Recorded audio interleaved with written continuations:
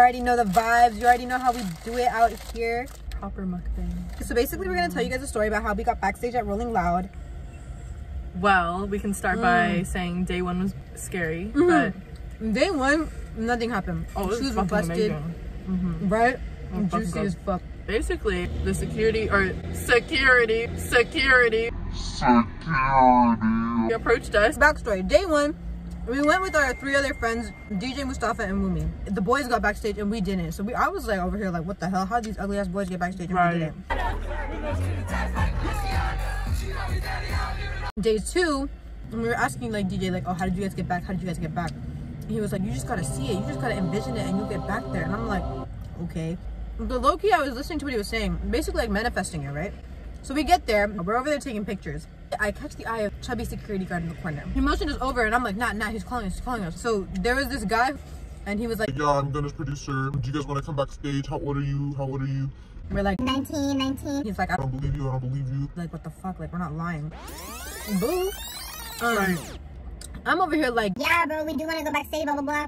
he's like, What are y'all doing after? we're like, Oh, we're going back to school. He's like, Like y'all trying to party? we're kind of like, nah, man, you're him. like 50 years him. old. And Natalie's over here like, wait, son, like, I don't know, like, I didn't trust it. Right. I, I was really skeptical of it. I was questioning him so much that he was like, "All right, y'all don't want to." Yeah. I was like, "Wait, wait, wait, wait, wait, wait, wait." yeah, at one point, so to the security guard, she was like, nah, man, who are you? What about your ID? Blah, blah, blah.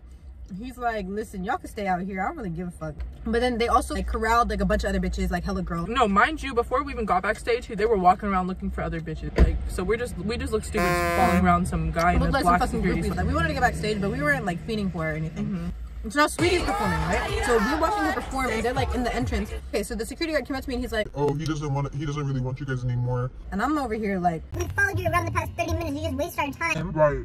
and so he's like, Okay, okay. I'll still get you backstage. I was like, Okay, say less. Get us back there. and then he just got us back there. That wasn't even the farthest back we got though. There's a totally different suite section at mm-hmm. Oracle where They they, like call it the stay at. artist complex. That's basically how we got backstage. Basically, we finessed with the security guard. So basically, find a security guard. Well, he approached Right. you. Yeah, yeah. So it was I kind was of taking my pictures. Yeah.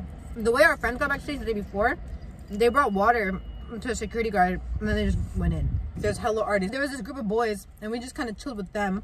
And they tried to tell us that there were some artists, but I'm pretty sure just regular ass boys. Right. They were regular ass boys from They like were. SAC. But we believed it at the time. Not gonna At lie. At the time, I think Okay. we were too hyped to like. Right, We were just like, all right, we fuck?" believe anything. we had point. to act like we were like regular people. You know what I'm saying? Like we couldn't mm-hmm. just we couldn't go up to every single person and be like, "Can I get a picture? Can I get a picture? Can I get a picture?" Which like Loki did, but like not everybody. Like some people. I remember what like to Shorty Shorty. I mean, we I were just went up. about it. We were just Yeah, I remember. I just went up and I was like, We I didn't look like him. fans. Like, we Yeah. didn't- So now fast forward. We've been out, we've been back here for a while. We met a couple artists, and now Lil Tjay is performing. And while he's performing, we're talking to. I'm pretty sure this is when Saweetie and Quavo were. Oh yeah, yeah, yeah, in their bus. Then Lil Tjay comes off. And he just walked past us hella fast, hella sweaty, mind you, like hella sweaty.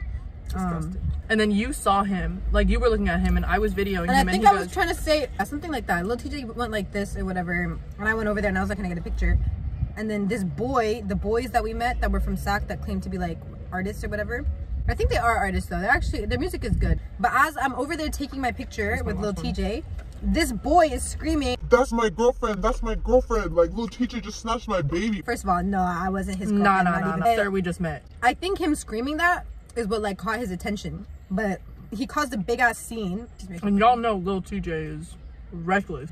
So I took my picture and left. Because he heard all the screaming, he called me back over. And he was like, oh, What are you guys up to? Like, we're about to go back to the suites or whatever if you want to come. Yeah. and we go back with him.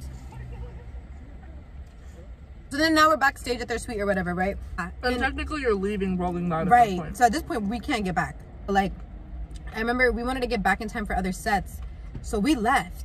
I mean, you could say like we fumbled the bag because we didn't stay and party. But like we're college students, we had school the next day. They were like, "Oh, you guys want to come?" We're kind of like, "Nah." know we wanted to get back and see Trippie Redd and shit. We were like, "Okay, let's go back." So we were trying to figure out how to get back. So we, We didn't have the right wristbands. and it was a journey. It wasn't a walk. Even if we did walk, we wouldn't be able to get like. And there was like security like standing there. But then this man came in clutch. So some man comes in his little golf cart, right? I think he's he shouted out to us that Nobody asked him. And when we got back, then we got to see like hella other artists too, like Tyga, Mm-hmm. um, Trippie Redd, hella more artists. So honestly, it wasn't a. But then during Playboi Carti Yeah, show, we had to leave yeah. because our friend was in prison. oh yeah We Yeah. to go pick up DJ from jail. Shout out. Lil Jube. Go find Lil Jube on iTunes right now. Go listen to all his music. Link in the description box below. Make sure you go listen to Lil Jube. Oh yeah, we got back and we we got to like the front of the stage. Remember that front portion of the stage? We got to the VIP And we section. we uh, listened to Trippie Redd. I remember I saw my In friend Jaden. If you ever see this, I saw you. Jaden. Um, yeah, Jaden asked me. He was like, "Are you guys okay?" Because we were walking around with security, so they Oh, thought he thought we were in trouble. but like, no, we were having like like escort. We were being escorted. Like literally. Mm-hmm. But yeah, we couldn't. We were telling everybody, no, we're at we're at jail. We're at Alameda County Jail. Yeah, it didn't help that we ended up at like jail picking up our friend like Mm-hmm. that night. He, did we say he went to jail for trespassing? Yeah. Oh yeah, yeah, yeah. Hello, this is a call from DJ. an inmate at the Alameda County Santa Rita Jail. So the day one, he didn't have a rolling loud ticket. He like ran in, and he got in. Day two, he tried to do the same thing, and he would have made it, but his shoe came off. No, his phone. He dropped his phone, so he went back for his phone. Oh, I thought it was his shoe. It was definitely his phone because he. I remember him telling telling me like Oh. he, he dropped he put his phone in his pocket and like, Okay. it fell off.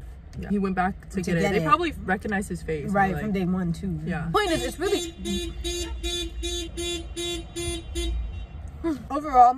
Rolling loud is super easy to finesse. I feel like if you ask a security guard, worst they're gonna do is say no. If you ask them like a statement rather than a question, like what are they gonna do? But yeah, oh, you know what's crazy? We weren't even gonna go to Rolling Loud that week. We tried to sell our ticket. I think yeah. So you know, just always be open minded. I don't to even know things. why did we end up going again. because no one could buy the ticket.